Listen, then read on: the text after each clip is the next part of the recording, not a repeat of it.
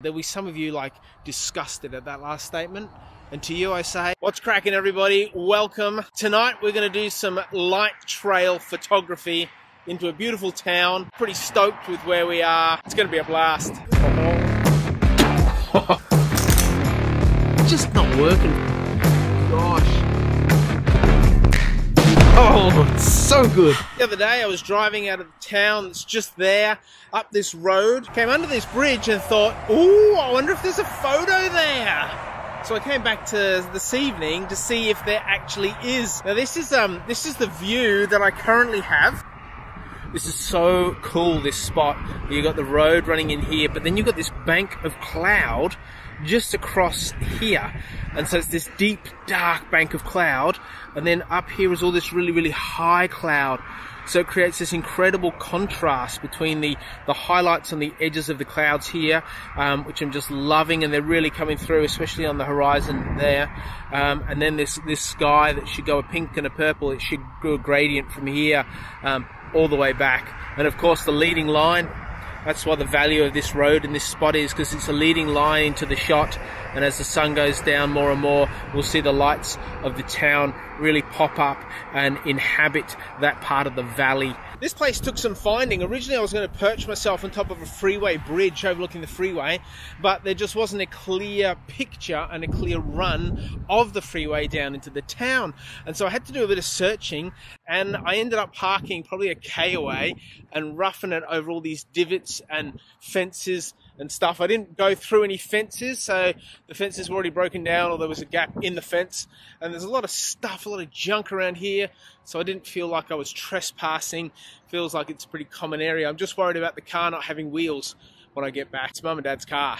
So the car is like over there, around there over the back somewhere. Oh gosh, I hope I can remember where I put it. It was a dirt track to drive along with a bunch of potholes. Sometimes you have to go in hunt and in search of the ideal position. And then, as you can see, that's my tripod right there, perched on this ledge. The reason I perched it on a ledge was so that it wouldn't have any of this junk in the foreground. So really, it looks like I'm droning it, essentially. I wish I did have my drone with me because that'd be epic. And I put on a time lapse and it fell over already. So I propped it up and we'll see if that's any chop too.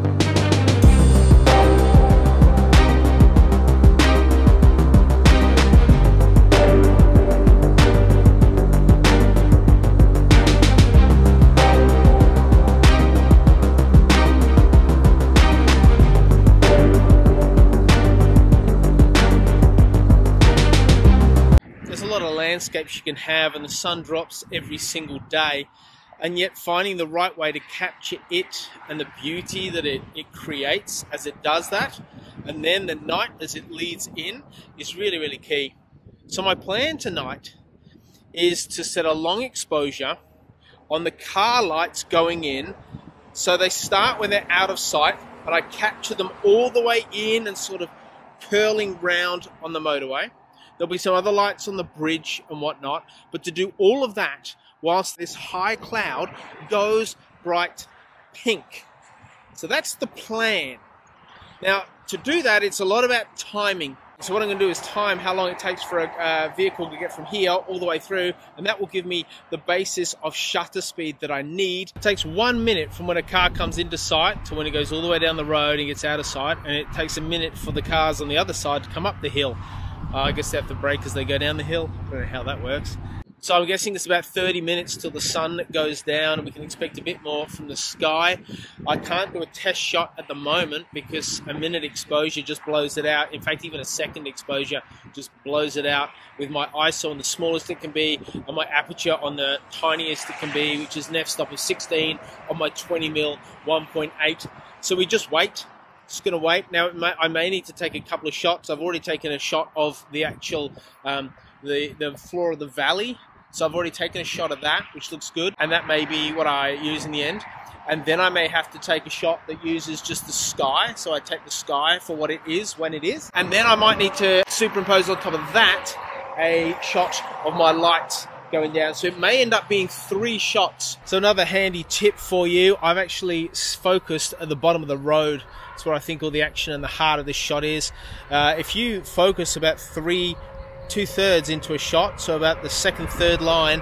In most landscape shots, most of it should be pretty much in focus. So that's where I focused, and then I set this up, and I cannot move this. So this is all locked down with these um, bits and pieces. It, it, cannot move because if it moves, it stuffs up all the layering I'm going to do later on. So once you lock down, you're like, this is the spot I want. What part of the frustration is you can't then bung another lens on and point the camera in a different direction. You're committed to this one shot for the duration of you being there. But I think that's part of the beauty of landscape photography. You're investing time, you're investing patience, you're investing creativity and skill to create something beautiful that others go, wow, and it stirs something in others. It stirs something greater than, than you, greater than me, um, and, and I love that. I love that the art of photography can do that in such a, a wonderful way. As you can see, the colours are starting to come through. It's usually 15 or so minutes after the sun goes down that you can see the sun is about to go down that you actually start to get those colours. So it's always good to be prepared, but don't be disappointed when the sun goes down and the colours haven't happened. You've got to wait for it to happen and they always happen on the back of the sky first before they happen on the front of the sky or where the sun's actually going down. So as you can see that pink glow is just looking majestic and the sky is starting to pick its colours and it's wispy clouds, just beautiful golds and oranges and slowly coming through to some pinks with that um that just deep red reflecting off the ceiling of the clouds. Just Oh, it's captivating. Just captivating it is. I did not expect this. Look at that. It's stunning. The low cloud is catching the beautiful reds of the sunset. And then it's just cushioned by these pastels above it. Wow. You're just in moments like this, you're like, this is so special and so incredible and so amazing. I just want to sit here and be here. It, it consumes you and leaves everything else out. The other worries and concerns and stuff you might be carrying around. There's something about nature's show of brilliance and beauty that has been stirred by a creator that we can just sit and be in it and find something more in it than perhaps what we first realized. And here comes that cloud I was talking about. Look, it's like fairy floss. Just scattered across the sky. Oh, sun's gone but its effects aren't. There's this sort of the, the pink beauty of those high clouds creating an opposite leading line into our subject, which is the end of the freeway. And I've put the um, freeway coming in from the corner of the shot so as to lead the eye straight to where we want it to be. And then just above the dark cloud on the left hand side, it's just that, that beautiful like ribbons of red and grey um, or pink and grey or orange and grey, just mixing with one another. Um, and then more is still coming. More is still coming. It just looks wonderful. Still wearing my t-shirt. It's freezing here. The wind of the valley is just coming up. It's just icing me over, and yet all my gear is on top of my jumper. Yeah, winner. Okay, I realise some of you are visual learners, so this should help. So at the moment, I'm overexposed at five seconds. But what's what happens when I take a shot? It's going to take five seconds of these cars going down the road and you get this image. And then when we zoom we pull up this image and we zoom in you can get start to see what I'm aiming for yeah? So that's that's where we're going.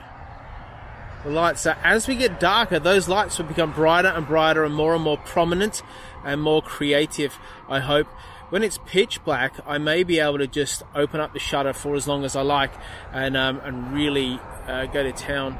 For those of you that don't realize, every DSLR or mirrorless camera has a setting called bulb.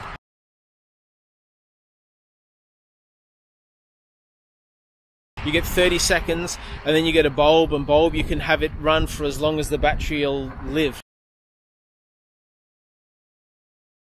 Once it's pitch black, you can basically use bulb for forever and it won't ruin your shot. It's almost like as much light can come in, will come in for those first however long, and then after that, you just get the effects of the light rather than the intensity of the light. So it doesn't blow things out, it doesn't um, make everything just like scorching bright. And normally, what you do with bulb is you'd have a shutter release cable and you plug it into your camera, it's a button. You press the button down and then you lock it in, and you're good to go. You just time it. However, I don't have one of them, but what I do have is my app through SnapBridge. And the way it works is if you put your camera on bulb and then fire up SnapBridge and connect it through the Wi-Fi to your camera, then you can just control how long bulb works by pressing it in and waiting for as long as you need to wait and then pressing it again and it opens and then shuts the shutter. So it's awesome that technology can sort of develop and replace some of the mechanical things that we've had. There'll be some of you like disgusted at that last statement. And to you, I say, that's cool, no worries. So I feel like I've made the most of the landscape and then I've made the most of the sky. I think we've got two epic options we can use. One of the sun and that cloud, just the, the bank of cloud and the ceiling of cloud red, and then the fairy floss um, above. And now I just need to wait, shiver a little for the light to vanish and the lights of the town to light up. It's starting to happen already. There they are. But if you go right out here, it doesn't look like much, but if you get closer in, you can really start to see um, see though that, that town shine. Uh, that town is Bacchus Marsh. It's just down the road from a place called Melton where I grew up and have a lot of fun memories. And so we've managed to travel interstate for a couple of days to really uh, enjoy family. I've succumbed to the cold and I've got my jumper on. Now you may be wondering why I need one shot. Why don't I just take a couple of shots of the road? But every time you, you take a shot, it stops. You take another shot, there's a tiny gap in the light trail, and I don't want light, light don't want gaps in my light trails. I really want just a solid line all the way through. So we're now down to 13 seconds. Uh, that's how dark it is. I've got my jumper on because I've started to get like hypothermia or frostbite or whatever that is. And um, yeah, we're still waiting, but getting closer. I made it back safely to the car. oh my gosh, that was shady as. Alright, uh, take a look at the road I had to travel and drive back out of. On either side of the track and where I was, there's bottles and there's cans, there's bumpers belonging to cars, there's mattresses, wooden boxes of junk. It's like, oh my gosh, it looked like it was it was a graveyard where junk goes to die. Whew, so glad to get out of that. Um, SnapBridge was a great idea until it packed it in and wouldn't connect with my camera. But uh, I waited it out. I handheld some one and then two minute exposures, which was um, was a good challenge. I then dropped my aperture to around 7.1 and the app started working. And so I busted out a two minute on that. The reason I dropped the aperture was I wanted to decrease the light burst that was coming off the headlights. So hopefully give a bit more definition to the light trails going up and down that road. And then I made it out alive, car intact. Woo! So here's the finished image. It's what they call a composite. It's where you take various other images and you put it together to create one. Let me know what you think of it.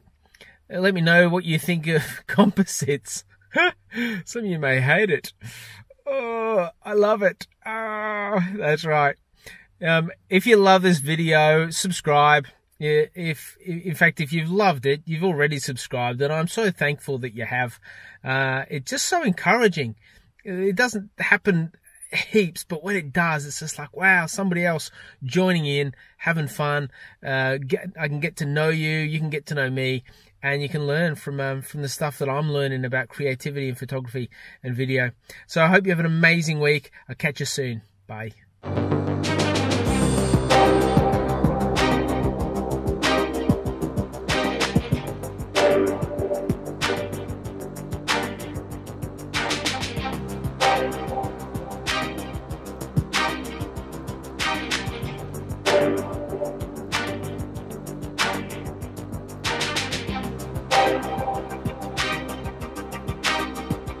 And I don't know if you can even see my face. So there we go, beautiful again. There's traffic down there that won't shut up while I'm filming.